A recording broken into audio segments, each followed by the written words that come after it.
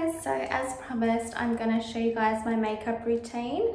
Um, this doesn't really change too much. I usually wear this wherever I go. My skin is already prepped, I've moisturized and put sun cream on. So what I'm doing at the moment, just because I haven't had time to go get proper foundation and stuff like that, I've been using the IT Cosmetics CC Plus cream. Um, it's got 50 plus SPF, which is really good. I squirt about a pea size of that onto my finger and then I grab the Too Faced Multi-Use um, Born This Way Sculpting Concealer. And this is what I'm doing because this is too dark for me. So I put about the same onto my finger like that.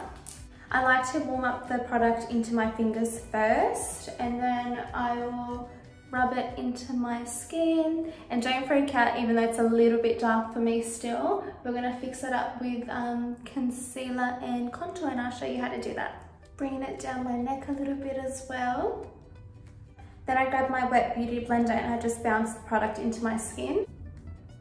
Don't forget to go into your hairline and go down your neck as well. We don't want to have two different colors I do like to keep the base layer on my skin quite light because I do go in with concealer and contour. Then I grab the Tarte Shape Tape Concealer in light medium and I pop that just where I need it.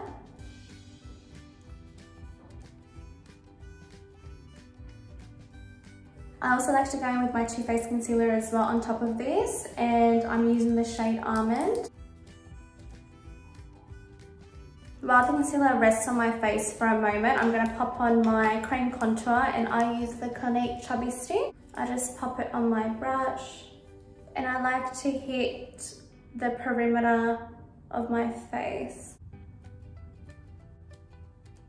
Then I blend in my concealer. After I've blended all of that in, I then go in with cream blush and I use the Fenty Beauty cream blush in Bikini Martini and this is literally like my favorite color to put on as blush. I pop that on the highest points of my cheeks. I don't bring it down onto the apples. I just feel like this lifts my face and just gives the effect that I want.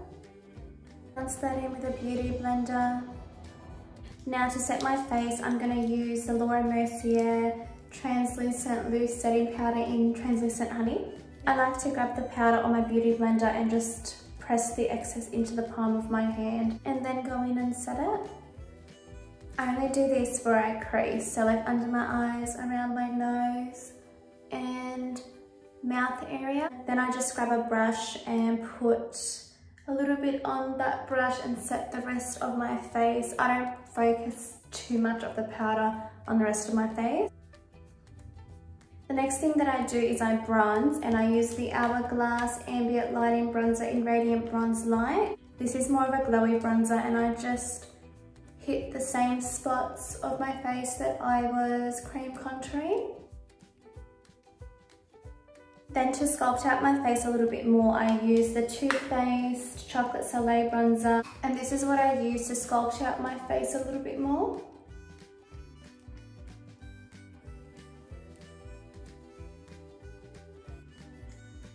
Get underneath my jaw as well. Then for powder blush, I use the NARS blush in Thrill. And this is, again, like a baby pink and I just pop that right where I pop the cream blush. For highlighter, I use the Too Faced Love Light Blinded by the Light. I'm not too sure, it's kind of rubbed out. And I like to pop this on my inner corners, on the tip of my nose right here. I love to go in between my eyebrows right here. And I bring it down a little bit too.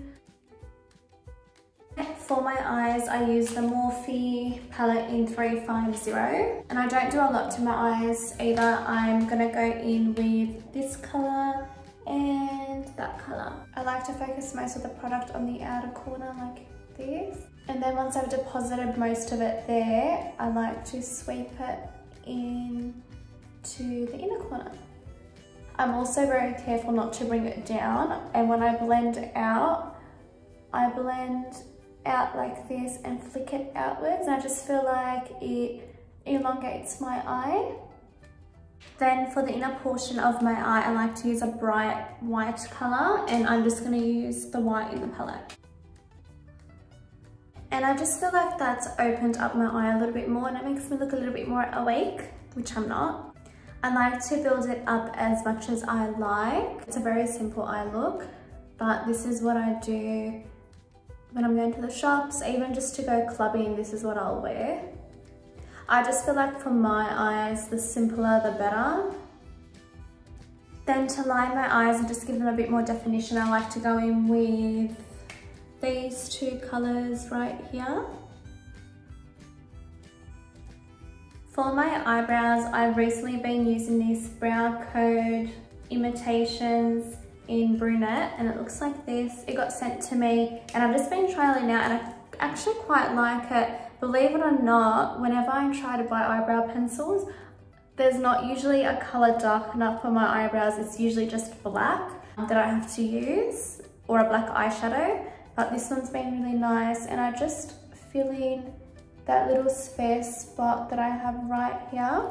And that's the only place that I fill in for my eyebrows. For my nose contour, I like to grab this little greyish, wait, where is it? This little grey shade in the palette.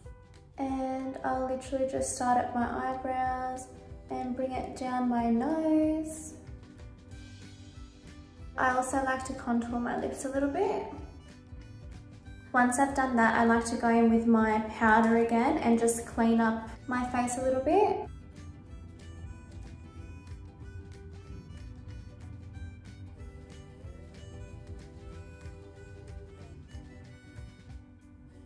For mascara, I just curl my lashes the littlest bit. Make sure you wipe off your bake before you put mascara on. I'm trying so hard not to do the mascara face right now. And for mascara, we're using the L'Oreal Telescopic Mascara in... I'm gonna assume it's black because there's no name on it. Then for lashes, I'm gonna use these Ardell Wispies and they're just a full lash cut in half, if that makes sense. And for lash glue, I just use the Duo Lash Glue and I just pop it on the lashes. And while the lashes dry, I'm gonna use um, my lip liner and I use the Bare Minerals lip liner in On Point and this is literally my favorite lip liner in the whole world. I feel like it's the closest match to my natural color of my lips, which is this.